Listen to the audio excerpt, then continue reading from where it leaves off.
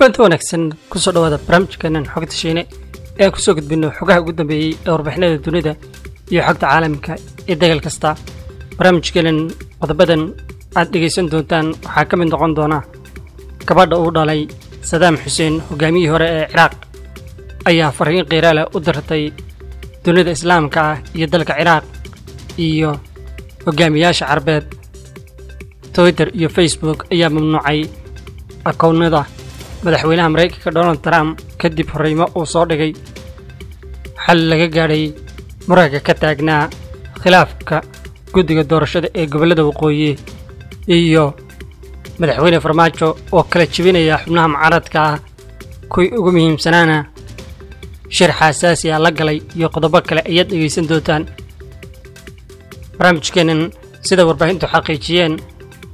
waxaa laga gaadhay muranka ka taagnaa guddiga doorashada ee xubnaha gobollada waqooyi oo horey xukuumadda u magacowday kuwaas oo ay ka soo horjeesteen guddoomiyaha aqalka sare iyo xubno kale oo ay sheegeen in guddoomiyaha aqalka sare cabdi xaashi cabdulaahi uu xaq u leeyahay in isagu u magacaabo dadaalada lagu xaqiijinayo tabashooyinka ka taagan guddiga doorashada ayaa ka soo bilowday magaalada garowe halkaasi oo markii ugu horreysay si kafoolkafoola ay isku arkeen guddoomiyaha aqalka sare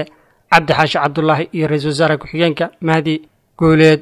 ilo xogogaalah ayaa tilmaamaya in afar xubnood oo ka socda dhanka guddoomiye cabdi xaashi lagu dari doono guddiga doorashada ee xubnaha gobollada waqooyi ee ay magacowday dowladdu. guddoomiye cabdi xaashi ayaa horey uga soo horjeestay guddiga u magacaabay ra'iisul wasaaraha soomaaliya kulan tilmaamay inay yihiin guddi aan matelin islamarkaasna isugu jiraan askar iyo shaqaale rayda. si kastoy noqoto xalka laga gaadhay guddiga doorashada xubnaha ka soo horjeeda gobollada waqooyi ayaa la rumaysan yahay inay fure u noqon karto in lagu heshiiyo hanaanka doorashada ee xubnaha gobollada waqooyi oo lagu dooran doono magaalada muqdisho. Beesha caalamka ayaa muddooyinkan dadaal ugu jirtay sidii xal looga gaari lahaa khilaafka ka taagan guddiga doorashada ee gobollada waqooyi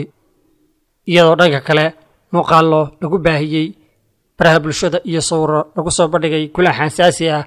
oo ra'iisul wasaaraha soomaaliya uu la qaatay cabdiraxmaan cabdishakuur hogaamiyaha mucaaradka maxamed xuseen rooble wasiirka koowaad ee xukuumadda soomaaliya ayaa la kulmay hogaamiyaha xisbiga wadajir cabdiraxmaan cabdishakuur oo ay ku shireen magaalada muqdisho kulankooda ayaa laga soo saaray arrimo dhowra rooble ayaa sheegay inay ka wada hadleen cabdiraxmaan cabdishakuur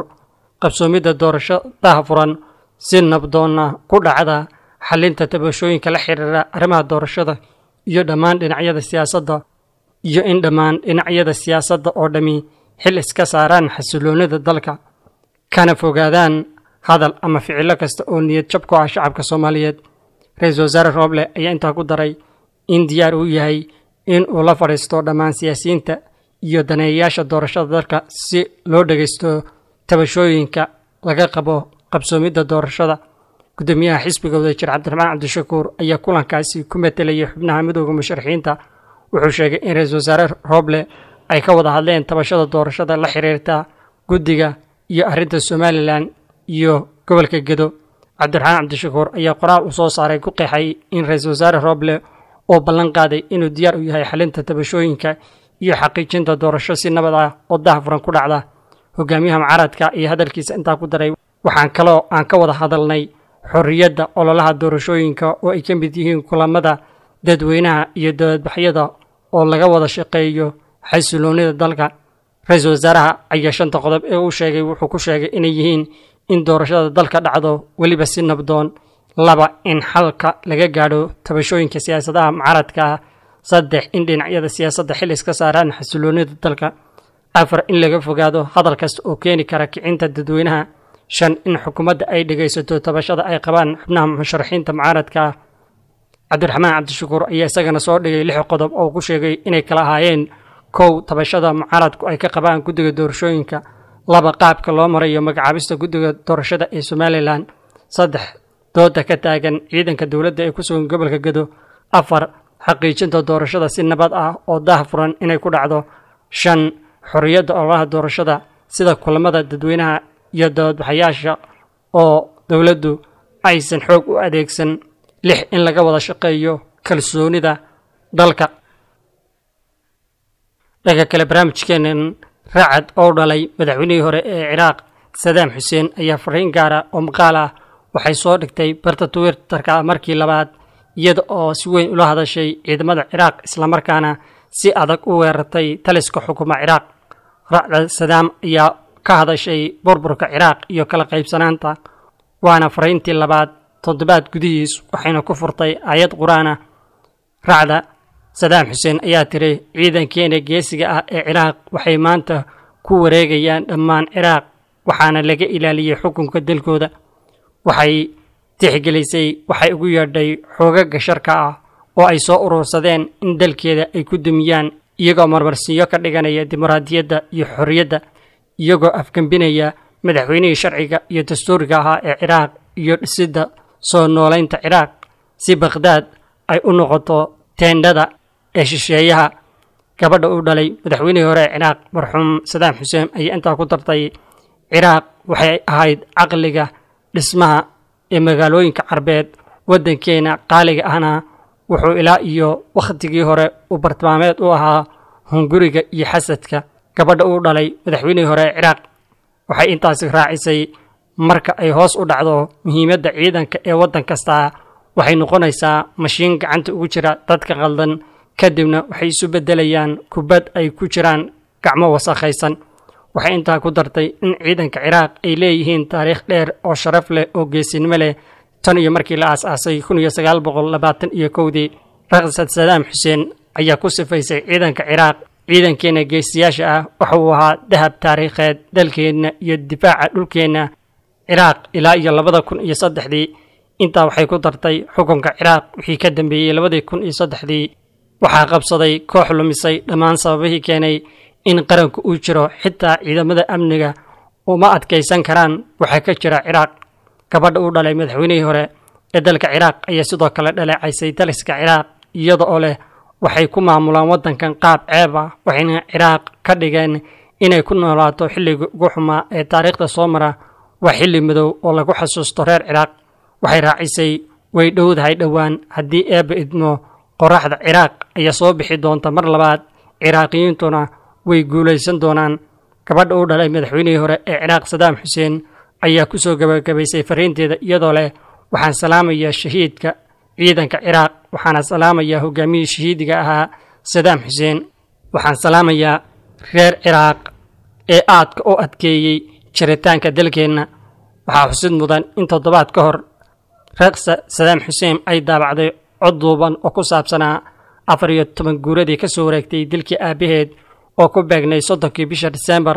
iyadoo ah markii ugu horreysay oo ay ka soo muuqato baraha bulshada sannado badan ka bacdi si isdaba jooga. Duubisteeda waxay kala kulantay baraha bulshada falcelin xoog leh muuqaalada ay soo dhigtay barta twitterka una dhexaysa taageerayaal iyo kuwo ka soo horjeeda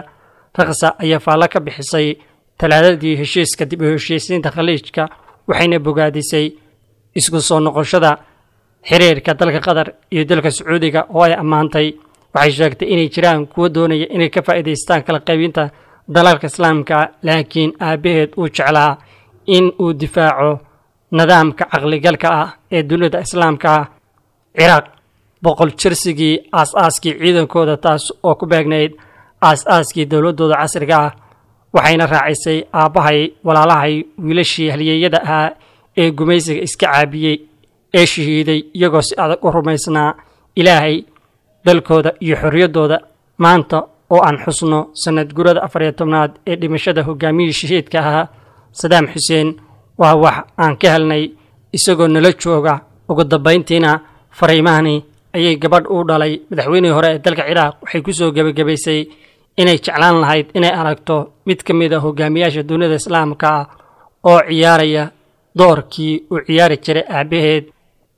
warbixinadeenna dhinaca kale donald trump ayaa laga mamnuucay isticmaalka twitterka iyo facebook kadib markii uu qoraal ku qoray isagoo weeraray dhismaha maraykanka ee cabitol fariin baraha bulshada uu soo dhigay ayuu dabadbaxayaasha ku yidhi waan idin jeclahay ka hor inta uusan ku baaqin in guryahooda ay aadaan. Wuxuuna sidoo kale ku celiyey sheekashooyinka ah ee ku saabsan in lagu shubtay doorashada. Twitter ayaa doonaya in meesha laga saaro saddex qoraal oo soo dhigay trump kuwaasoo siday sheegeen meelka dhac ku ah shuruucda iyo siyaasadda shirkadaha. Shirkadaha ayaa sheegay in akoonka madaxweynaha uu sii xidhnaan doono haddii aan laga tirtirin qoraaladaas.